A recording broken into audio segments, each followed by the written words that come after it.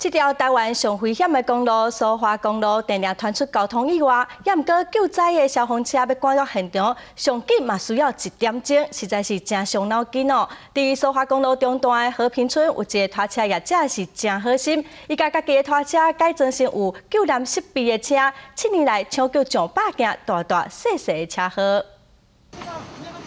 这是发生在这个月五号，沙胶车并伫苏花公路。冲到路。段现场。当时沙胶车顶面大量石头，将路。边的车给跌掉了。车顶的驾驶就困无法度逃出，最后靠的就是后边这台大型的民间的拖吊车。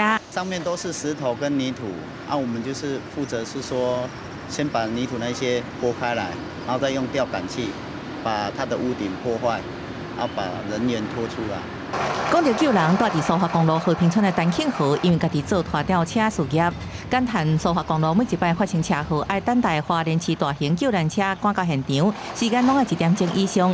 因此，伊就改装一台二十吨大吊车来作为消防器材车，车顶为吊挂机，骨架有压线破坏器材拢总有。重点是用伫半点钟内底就赶到出代志现场。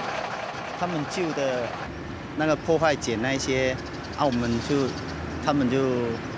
编制给我们旧的，啊，我们就下去做改装，啊，改装在吊杆上面，啊，有时候紧急的时候，我们还可以拿出来用。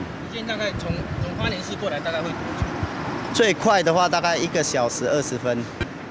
从花莲市，我们这边处理的话，大概这边出去大概半个小时以内一定到达。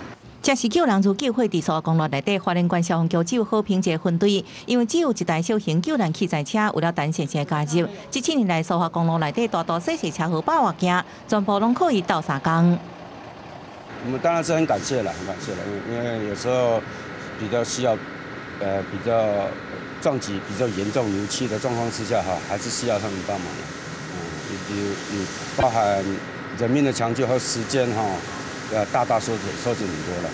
上感动的是，这些救援拢总免费，但前是讲做好代做功德，家己也快乐。暗过那些赛希望来政府用八卦有声，或者出台接触公路沿线救援单位更加济救援大型器材。记者综合报道。